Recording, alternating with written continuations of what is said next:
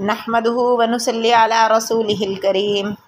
اما بعد فاعوذ بالله من الشيطان الرجيم. بسم الله الرحمن الرحيم. رب شرح لي صدري ويسر لي امري واحلل عقدة من لساني يفقه.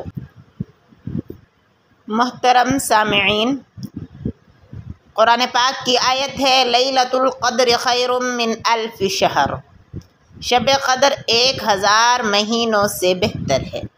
تریاسی سال چار مہینے کی عبادت۔ رسول کریم صلی اللہ علیہ وآلہ وسلم نے فرمایا، جو لیلت القدر میں ایمان و احتساب کے ساتھ نماز میں کھڑا رہے، اس کے بھی اگلے تمام گناہ معاف کر دیے جائیں گے۔ اگلے آنے والے تمام گناہ معاف فرما دیے جائیں گے۔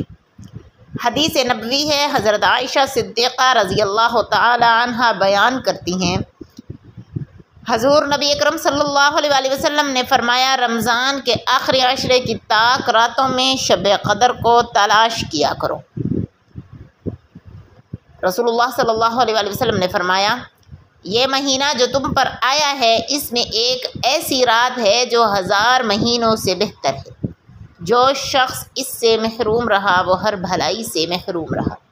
اس رات کی سعادت صرف بد نصیب ہی کو بد نصیب کو ہی اس سے محروم کیا جاتا ہے۔ لیلت القدر کی دعا ہے، اللہم انکا عفو کریم تحب العفو فاعف عنی۔ اے اللہ، تو معاف کرنے والا ہے، کرم فرمانے والا ہے، معاف کرنے کو پسند کرتا ہے، بس مجھے معاف فرما دے۔